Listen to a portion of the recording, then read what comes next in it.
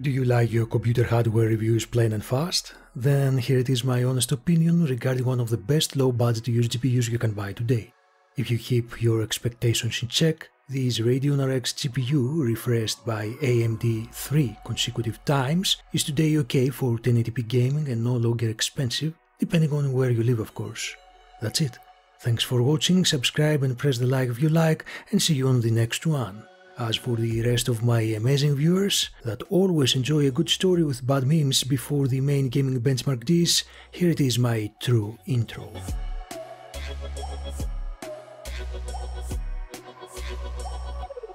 We are at the end of 2018.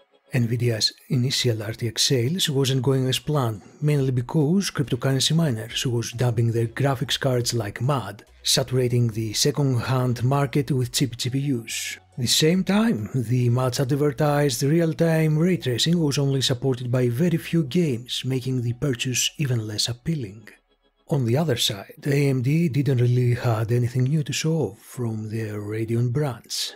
The much anticipated Navi architecture was scheduled to kick off further in the following year, and having no new product to sell just few months before the Christmas and New Year holidays, it will be a huge marketing failure from AMD's part. Since we all know holidays is a period when millions of people willingly spend their hard-earned money to cover their psychological needs.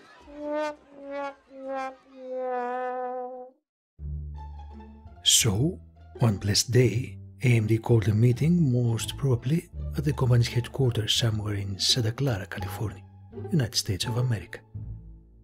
They sat down and they came up with a terrific idea.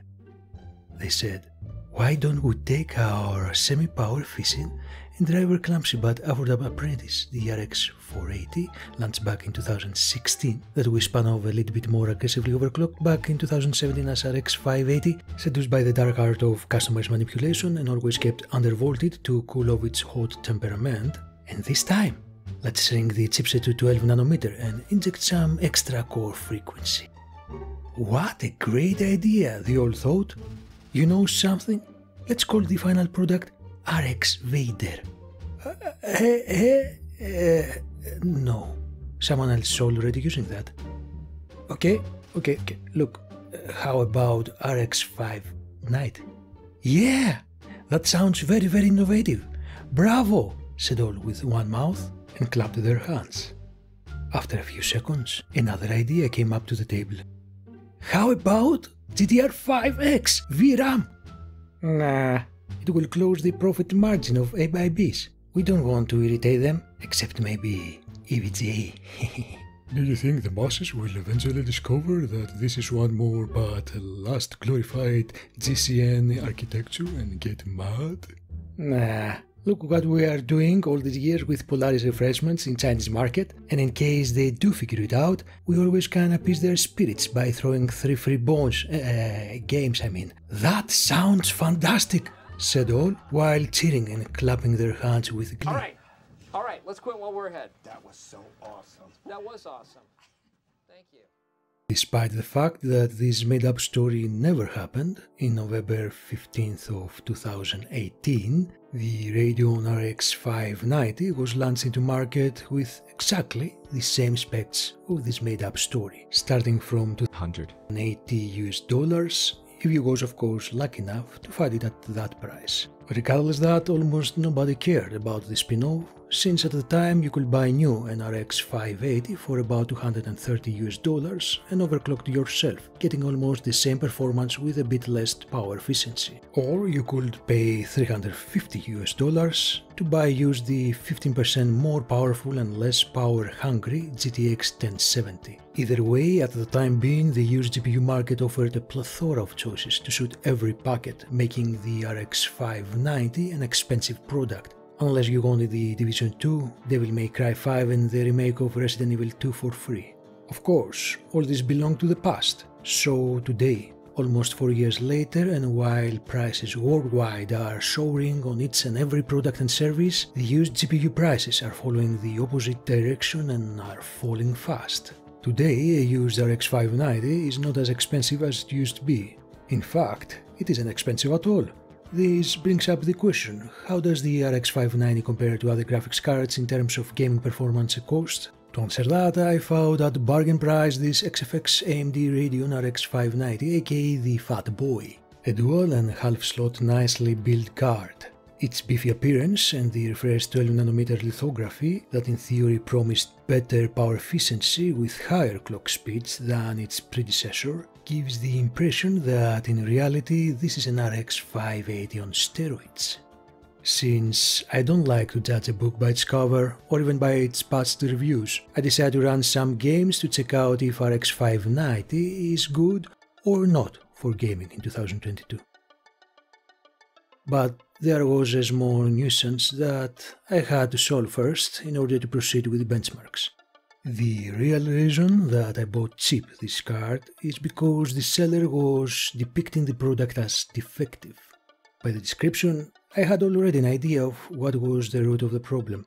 My prediction confirmed immediately after I tried to run some tests. The RX 590 was working very hot, throttling the core frequency. At the same time, the fan curve of Adrenalin software was stuck at 50% and refused to go any higher than that. So I decided to have a look into it.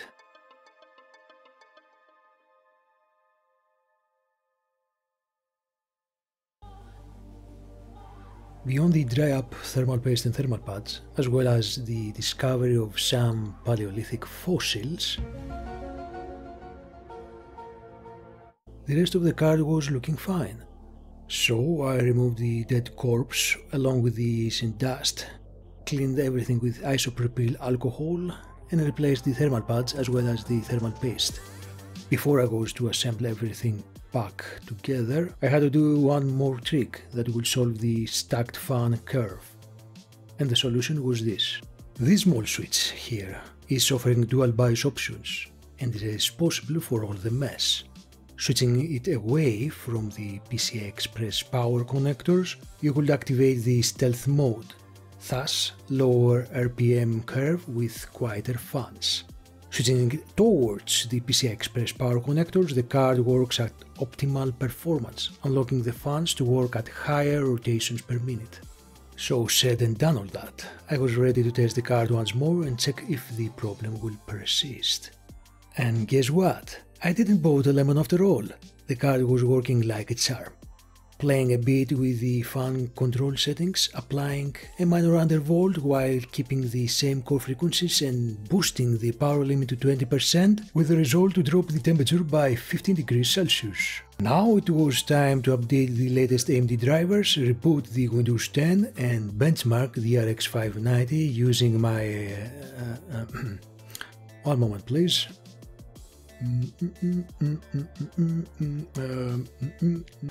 There you go. As I said, my not anymore budget friendly computer, specifications of which you can find in the description below.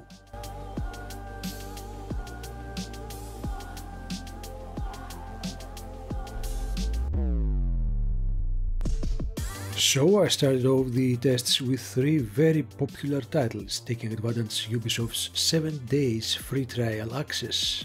First was the integrated benchmark of Assassin's Creed Valhalla, running under the quite optimized but also demanding second version of Anvil Next engine. At 1080p high settings I've seen a lot of micro stutters and the card failed to reach on average the minimum 60 frames per second. Dropping the settings to medium, the average frames got a bit better, reaching the 67, but the 1% low stayed below 60. Because of this, I continue to see occasional micro stutters. Additionally, lowering the video settings, I had some obvious delayed texture rendering. This new side effect also occurred when I chose low preset settings, with the only difference that the average and 1% low frames was both well above the 60 mark and the stutters appeared way less often. Aesthetically, low settings doesn't provide a good experience for a game like Assassin's Creed Valhalla, so I raised the resolution to 1440, chose medium settings and enabled FSR mode. Beyond the muddy graphics quality and the expected by now jittery motion picture, the card reached the highest FPS so far, with 82 on average and 61 on 1% low. Pretty much, the RX 590 is unable to offer satisfying gameplay experience without dropping the settings to minimum or enabling the FSR feature. This fact alone wasn't enough to end the trial here, so next game from Ubisoft's AAA basket was Far Cry 6, which is an AMD sponsored title. This one runs on Dunia 2 engine and its benchmark is also capable to give some hard time to our contestant. This time the RX 590 does a bit better job on 1080 high settings, achieving some great numbers with 71 and 62 on average and 1% low respectively. Still, if you observe the frame time graph and then the footage, the micro stutters are an ongoing phenomenon. Even with FSR enabled, the occasional frame time spikes will remain, making certain that we need to drop the settings to medium or even low if we want to have a smooth out of the box experience. There are some other solutions to fix this inconvenience, but this is not the purpose of this video. Thus, I move on to the third Ubisoft title that it was one of the games you could get for free if you bought an RX 590 at launch. A bit old now, but the Division 2 contains also a strong benchmark. The RX 590 will offer high frames without problem, even at 1080p and high preset options enabled. Moreover, it runs a bit smoother than the previous two titles I tested, but still not flawlessly, resulting in more stutters here and there.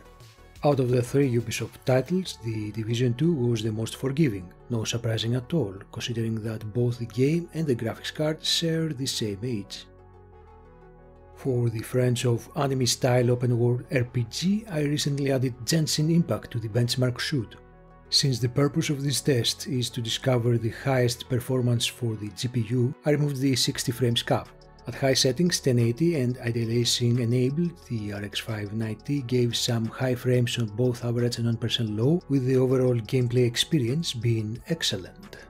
Looking at MSI Afterburner layout, the game definitely is more GPU dependent, so I might keep this title as default choice for the upcoming graphics cards tests. My only concern is the kernel intruding anti-cheat that accompanies the game. What I'm not going to keep is the Forza Horizon 5.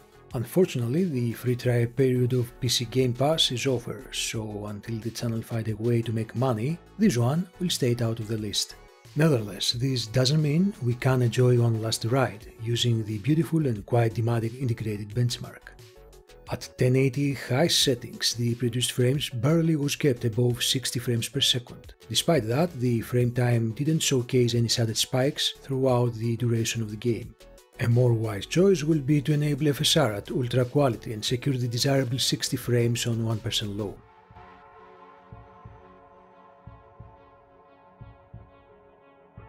The next title was probably the most demanding game so far, since the RX 590 running Halo Infinite couldn't produce more than 57 FPS on average at 1080p medium settings and with the high definition textures off. I had to drop the settings to low to get above 60 frames on average. Still, the 1% low continued to be below 60 FPS.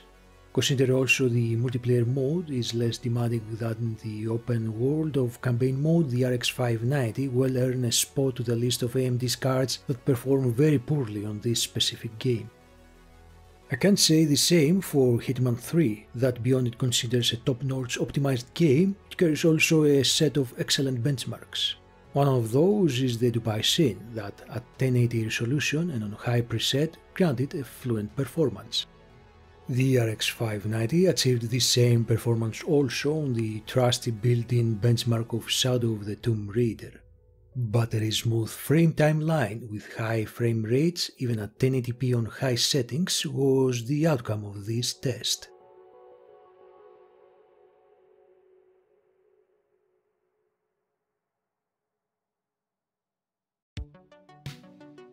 Naraka Blade Point is relatively newish title that I had the opportunity to play a bit under the free trial days on Steam.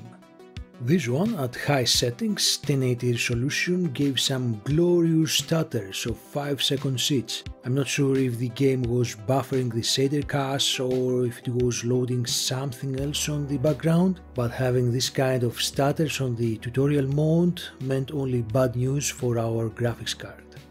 The medium settings fixed a bit the average frames, but the 1% low remained awfully low while the gameplay remained stuttering. Surprisingly, choosing low settings fixed everything with an immense increase on both average and 1% low values, exceeding by far the previous poor frames. Talking about poor frame rate results, Total War Saga Troy at high settings 1080 resolution and anti-aliasing enabled looked amazing at 30 frames per second. I am pretty sure you wouldn't expect a real-time strategy game to make the life of RX 590 so difficult, but the truth is the battle benchmark contains some pretty difficult to be rendered scenes. By disabling the anti-aliasing, the frame time became more linear with perfect frame rate numbers for our 60Hz refresh rate monitor. On the other hand, if you don't like the visual outcome without anti-aliasing, the medium settings and 2 times anti-aliasing will output the same results as the previous screen but without the jagged graphics. Godfall is a gaming title that I like to use whenever I am testing graphics cards. It has everything that a GPU reviewer will ever need. It is free, it has a built-in benchmark, you play with video settings on the fly without the need to restart the game or even close the benchmark while it's running. It combines both DLSS and FSR features, but it has one major flaw. It produced some very erratic frame times and at times a very jumpy gameplay, regardless the graphics card I'm testing. Of course, the weaker the GPU, the worse the stutters, and the RX 590 couldn't be the exception to the rule. At 1080p high settings I got high average frames and poor 1% low.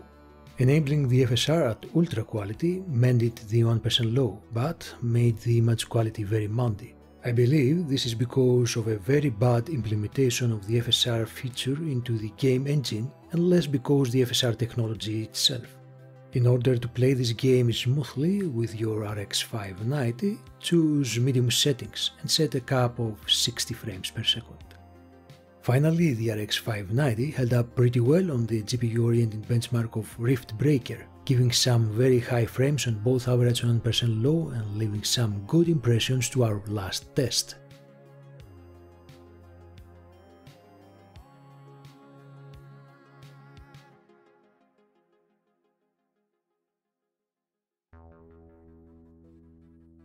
Before we move on to the conclusions, it is important to point out the obvious absence of 1440p tests.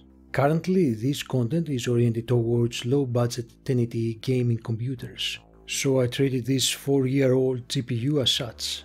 Said that, it will be out of reality in 2022 to ask fat results from the XFX RX 590 Fat Boy version. Under that perspective, I'm very satisfied with the graphics card's overall performance, not only in terms of gaming, but also considering the overall functional behavior. The temperature was always under control, without the need to keep the fans working at high RPMs, and the Adrenalin software kept the card totally silent while browsing the net, watching videos or doing light productivity tasks. The card itself has a very sturdy and thick build and a plethora of video outputs to cover every possible multi-monitor task. Furthermore, AMD's idea back in the days to provide 8GB VRAM on all high-tier Polaris GPUs made this architecture super future-proof. It would be amazing if AMD had enabled the Smart Access Memory and RSR features for the Polaris cards also. But then again, I would ask too much, wouldn't I? Mind that if you want to upgrade your old Office PC or if you have a no-name power supply below 500 watt and you don't want to spend money to buy a new one, then you should look for a less power-hungry GPU. The same goes if you want to play with high settings the latest and greatest PC titles or prefer resolutions above 1080. As for the crucial matter of price to performance ratio, it is my policy to avoid any reference to specific price tags unless it is necessary to the story, such as historical MSRP values. In most cases, my advice is to do your own market research, comparing your target component with similar ones. In terms of performance, the RX 590 was and remains an overclocked RX 580 with better power efficiency, performing 5 to 10% higher than its predecessor. If you can find it at the same price of an RX 580, then this considers a good purchase. The real question is how much this price should be, and the answer is no more than 50% less than the cost of a brand new AMD RX 6500 XT that you can purchase from your local or whatever market you have access to. Don't forget that you have also access to the comments below and you are more than welcome to discuss your thoughts or make questions considering the main topic. If by chance you enjoyed our content, we will appreciate very much if you leave your like and subscribe to our channel if you haven't done so already. There is also the extra chore to press the notification bell if you don't want to miss our upcoming videos. Regardless, thanks for watching and see you on the next one.